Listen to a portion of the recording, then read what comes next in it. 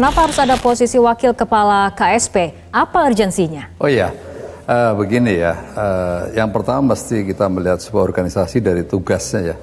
Tugas kepala staf presiden adalah uh, memberikan dukungan kepada presiden dan wakil presiden dalam hal program-program prioritas nasional, berikutnya uh, mengelola isu-isu strategis dan komunikasi politik. Anda sendiri merasa memang membutuhkan adanya posisi wakil kepala KSP? Ya, uh, akan lebih bagus karena apa? Karena uh, KSP akan nanti konsentrasi kepada kebijakan-kebijakan. Ya.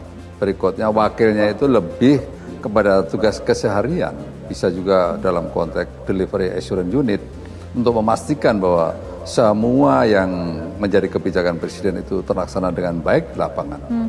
Okay. Sangat jelas. Tapi saat ini kemudian Pak Muldoko tidak saja sen tetapi terdeliver ya gitu ya.